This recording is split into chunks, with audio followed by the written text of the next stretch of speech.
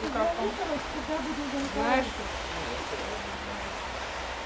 как тебе сказать? С вами еще была история, в прошлый раз там песенка была поактивнее. Ты замерзла.